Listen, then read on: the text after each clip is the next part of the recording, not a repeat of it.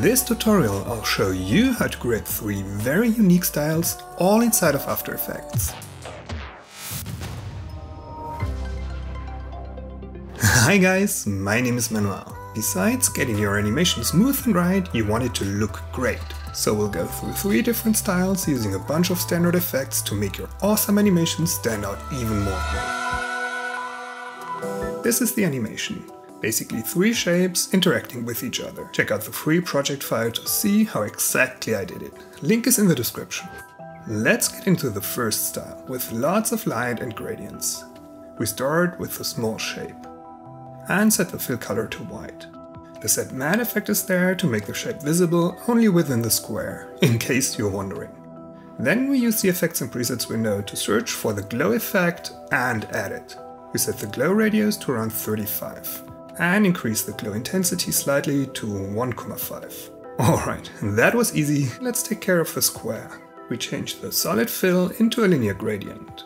The colors from a dark cyan to a dark purple. One of my favorite combinations. Let's adjust the direction by moving these two blue points into a diagonal direction. We want the square to have a subtle glow as well. We duplicate the square, move it to the bottom. Then we add fast box blur. Set the blur radius to 120. Iterations to 10. This seems very subtle, so we add a glow again. We increase the glow radius to around 650. The glow intensity to 10 maybe. And we get this awesome shine around the square. Next in line, the big shake we change the fill into a linear gradient. Colors from a dark yellow to a dark red. And we adjust the direction again. Yellow on the bottom left, red on the top right. Then we add a layer style by right clicking on the layer. We go to layer styles and add inner shadow. Let's open the property and change the color to a purple, a dark purple, which blends nicely with our gradient colors. We change the angle to around minus 50 degrees. We increase the size to around 20 and add 6% noise. You can see a tiny difference already. Let's add a second layer style, bevel and emboss. Size 75, soften 16. Let's change the two colors. Highlight color, a bright yellow. Shadow color, a bright rose. We added two layers of details to the shape. But we're not there yet. We add a glow again. Set the glow radius to around 25. The glow intensity to around 0,8. And this time we use the A and B colors as glow colors. A is yellow, B is red. Finally, we duplicate the glow effect. Set the glow radius to 160, the glow intensity to around 2,7. Never use the glow effect just once. I would always use at least two layers of glow, which makes it look much more natural. If we change the glow operation to screen, we'll get more of the colors back. Finally, we add an adjustment layer and add noise to it. Amount 5%. No color noise. And just like that, you created an awesome and very unique shiny style. The thing is, there's not always time for that. Oftentimes you need stuff instantly, like one click away. I know the perfect place for you. MotionArray.com. Everything you need for your video in one place. High quality templates for Premiere Pro and After Effects, which save you a lot of time and money, plus footage, music and sound effects. All in one subscription. Pay once, use it as much as you want. It helps me a lot with my client work. Subscribe through the link in the description and get $50 off. Isn't that amazing? Start now. Alright, let's get to a clean and slightly textured style. First of all, we add a background solid. Name it background. Color doesn't matter, as we use the 4 color gradient. We change the colors into a red, blue, purple mix. With a bit of contrast overall. Then we add turbulent displace. The amount is 50, size 100, complexity 1. Then we add a small expression to the evolution property, time asterisk 100, which changes the evolution by 100 degrees per second, which creates a slightly animated background. Then the big shape. We change the fill into a gradient, from blue to yellow. We adjust the direction of the ramp to diagonal. Then we add posterize. Set level to around 4, which creates rough, like bad quality stripes, which looks really cool. A small shape. We add a gradient fill as well, but radiant this time. The color ramp from white to cyan. White being the highlight, somewhere towards the top of the shape. Let's zoom in here a bit then we add a layer style again. Inner shadow.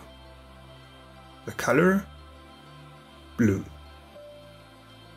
We adjust the angle, we want the blue along the bottom part. Let's increase the distance around 15. And the size. And let's add noise, around 4%. We just turned the flat shape into a sphere. Next, the square we change the fill color into red.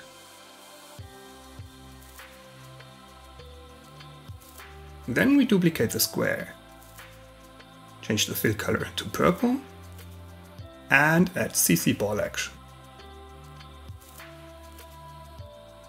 Grid spacing 2, ball size 20.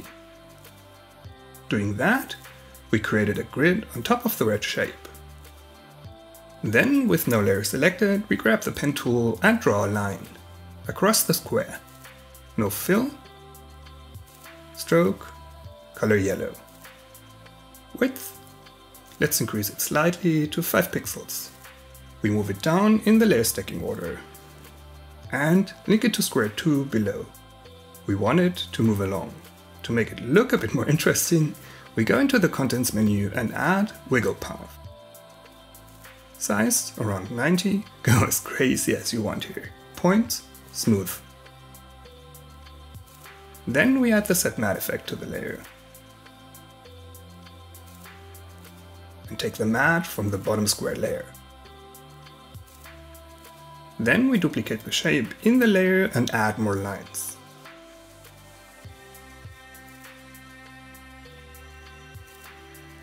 And name the layer lines of course.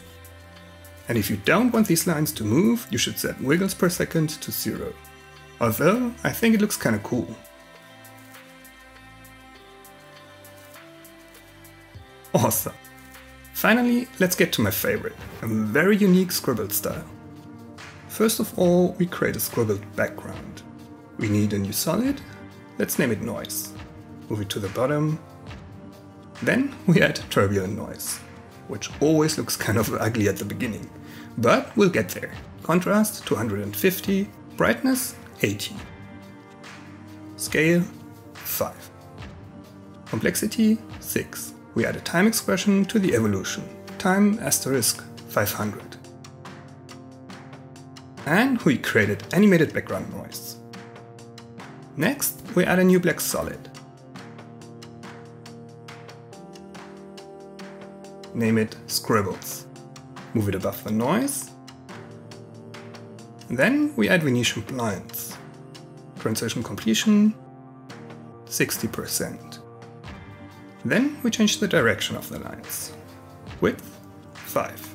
We created repetitive lines. Then we add turbulent displace to it to break the straight lines up. Displacement, let's try bulge. Let's reduce the amount to 20. Size 100. Complexity 1. Pinning, pin all. Let's set anti-aliasing to high. To get a more scribbled look, we add roughened edges. Oops, we set the border to 1, scale to 10, complexity to 1. Awesome, much better. This is our scribbled texture. Next we add a new solid to create an animated mask for it, by once again adding turbulent noise. Contrast around 290, brightness around 50. In transform we set scale to 500, complexity 1. Then we add an expression to the evolution property, posterize time, and in parentheses 4, semicolon. We reduce the frame rate to 4, then time asterisk 500, which creates this animated grayscale gradient.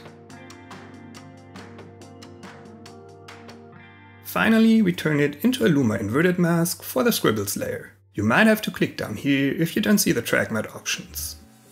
The dark parts of the mask are transparent, which creates this nice background. To the big shape, we change the fill to black. Then add roughen edges. Border 1. Scale around 400. Complexity 2 is fine. To mess up the perfectly round form, we add turbulent displace. The amount 2. Like some kind of dark blob. Next, the square. We duplicate the layer, name the bottom one square mask, and hide it. We get rid of the fill of the new layer, add a black stroke instead, width 2 pixels. Then we copy the roughen edges effect from the big shape and paste it to the square. And it already looks like a pen stroke. Then we add turbulent displace. Amount 2, size 100, complexity 1. We animate the evolution, add an expression. Time asterisk 250 this time, a bit slower. Then we duplicate square 2 and adjust some of the effect settings. We double the stroke width to 4. In roughen edges, we set complexity to 5 and change the evolution. Then in turbulent displace, we set the amount to 4, complexity to 2. Typical for handmade animations is 12 frames per second. So we add an adjustment layer and add posterized time to reduce the frame rate to 12 frames per second.